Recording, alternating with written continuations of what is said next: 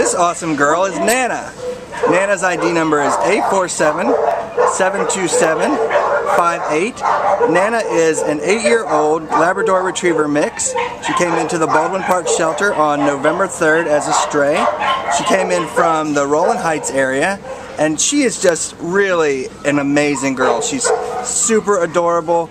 She loves attention. She's a staff favorite here at the shelter, and um, she just can't get enough attention. She loves rubs. She loves getting scratched. Her tail is always going, and she's just uh, an awesome girl to meet. She is uh, pretty easygoing, and she's great on a leash. Um, she pulls a little bit actually, but um, that's probably just uh, because she got excited.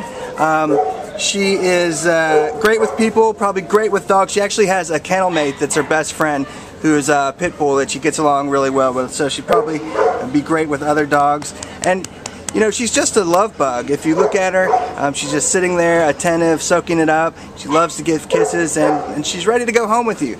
So if you're looking for an amazing companion, this girl would be the perfect fit for you. Come on down to the Baldwin Park Shelter and pick up Nana. Hi, Nana. Good girl.